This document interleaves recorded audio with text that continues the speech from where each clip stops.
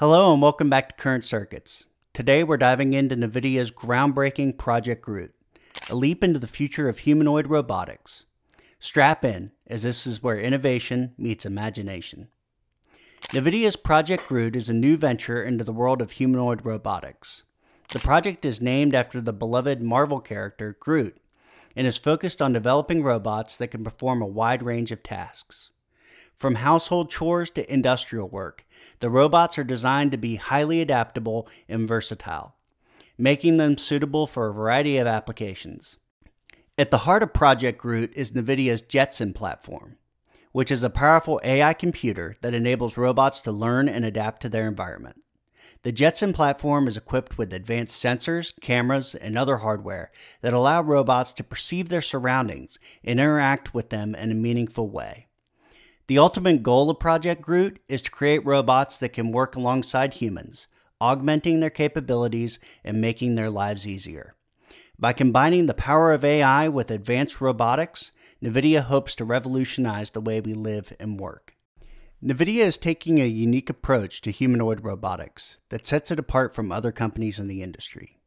Rather than building robots from the ground up, NVIDIA is focused on creating a software framework that can be used to power a wide range of robots. This framework, called the Isaac SDK, is a powerful tool that enables developers to create sophisticated robotics applications using NVIDIA's hardware and software. The Isaac SDK is built on top of the Jetson platform. It provides developers with a wide range of tools and resources to create advanced robotics applications. The SDK includes a variety of libraries, APIs, and tools that make it easy to integrate AI algorithms into robotics applications.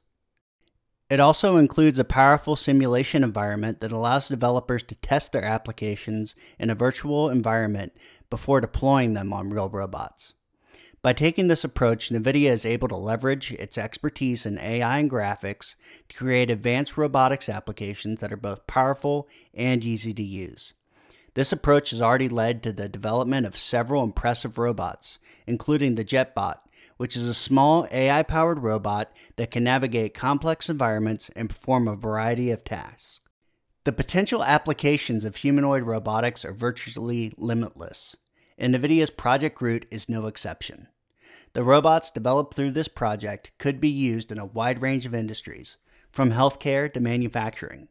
In healthcare, robots could be used to assist doctors and nurses in a variety of tasks, such as monitoring patients, administering medication, and performing routine procedures.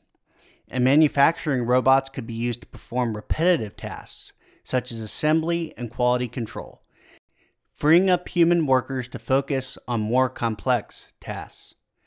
Robots could also be used in the home to perform household chores, such as cleaning and laundry.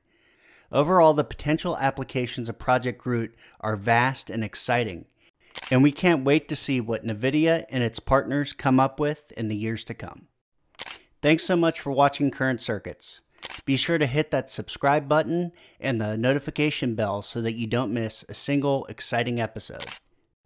Stay tuned, stay curious, and as always, keep exploring the wonders of technology.